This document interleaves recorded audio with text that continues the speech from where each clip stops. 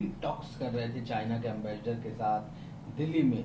और आज गलवान वैली का जो क्लास है कांग्रेस मिसलीड कर रही है पूरे देश को। मैं तो सीधे कहूँगा, नड्डा साहब, जितनी शिद्दत से आप कांग्रेस और विपक्ष पे हमला कर रहे हैं, उतनी ही शिद्दत से अगर आपके पॉलिटिकल इस्टेब्लिशमेंट ने डिप्लोमेटिक इनिशिएटिव पे काम किया होता ना, आज ये हालात नहीं होते।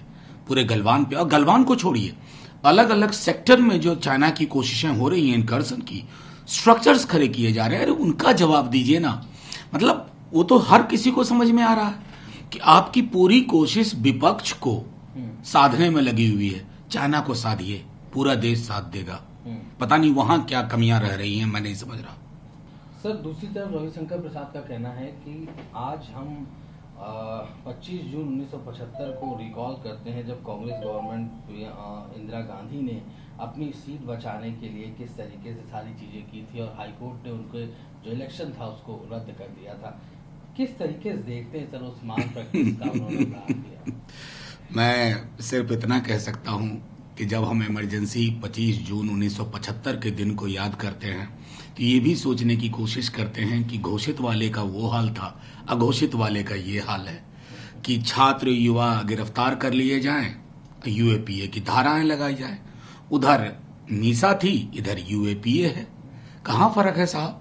एक एक व्यक्ति केंद्रित अधिनायकवाद था। यहाँ वैचारिक अधिनायकवाद है।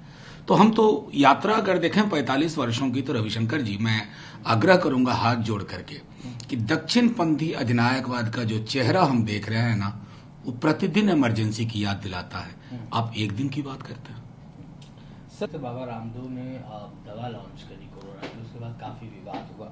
अब राजस्थान के हेल्थ मिनिस्टर कह रहे हैं कि हम इसको अपने यहाँ बेचने नहीं देंगे राधा देन आईसीएमआर उसको अप्रूव करे। मैं तो सीधे कह रहा हूँ ये कहाँ कौन से विमर्श में आ गए?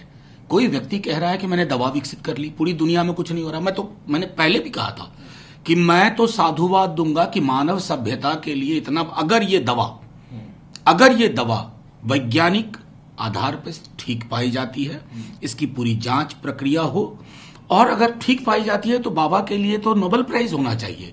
लेकिन अगर यह प्रोपगेंडा है, ये भरमाने की लोगों की कोशिश है तो कौन सा प्राइज सुनिश्चित करे, ये मैं आईसीएमआर पे छोड़ता हूँ।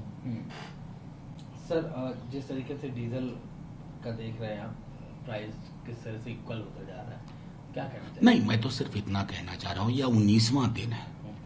और कीमतें बढ़ते बढ़ते यह हाल हो गई आ, आ, हम जो कभी कल्पना नहीं करते थे कि डीजल पेट्रोल से आगे निकल जाएगा वो निकल गया। हम्म। अब सरकार न जाने किन की किन सलाहों पे चल रही है और सलाहकार लोग कौन है? अगर ऐसे सलाहकार हैं तो इसका मतलब हम्म। इन्होंने तय कर लिया है कि लोग रोते रहें, लोग परेशान हाल हो, हम उसकी चिंता नहीं करेंगे। मैंने प्रधानमंत्री जी से पहले भी हाथ जोड़ के विनती की थी कि तेल की कीमतों को आप इंटरनेशनल क्रूड ऑयल से रखिए। सीधा ताल्लुक, हमारे आस पड़ोस में, अगर तमाम देशों में तेल सस्ता मिल रहा है, हमारे यहाँ महँगा मिलने की क्या वजह हो सकती है? जिस अन्नदाता को आप प्रणाम करते हैं टेलीविज़न में आकर के या अखबारों के माध्यम से कभी सोचा है कि इन कीमतों का अन्नदाता पे क्या असर पड़ेगा? और संगठित क्षेत्र पे क्या पड़ेगा? एमएसएमई पे क्या पड़ेगा?